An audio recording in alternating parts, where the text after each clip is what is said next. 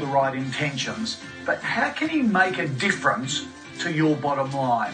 Find out after the break.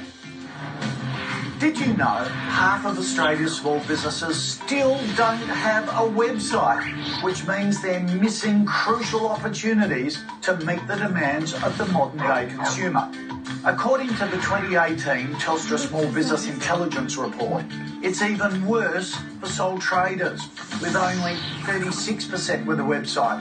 That's even though 48% of customers say they'll stop considering a business if it doesn't have a website. For businesses that do have a website, 89% of customers say it needs to be easy to navigate. It also needs to be mobile friendly because 48% of customers now shop on a mobile device at least once a week. The report also reveals 76% of business owners consider word of mouth referrals to be the most significant driver of new sales. But 71% of consumers prefer online searches of reviews rather than word of mouth. So if you don't have a website yet, now is the time to get online.